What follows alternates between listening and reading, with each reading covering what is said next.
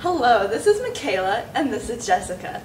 We're going to run a 400 to see which snack is better to eat before a competition.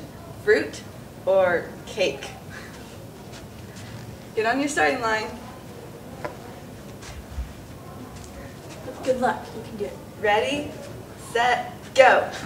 You're at the 100. You're at the 200.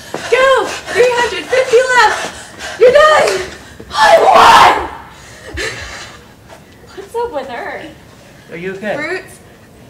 Fruits have carbohydrates, water, and vitamins to help you perform better in any performance you, in any athletic you perform in. Eat fruit, not cake. Good try.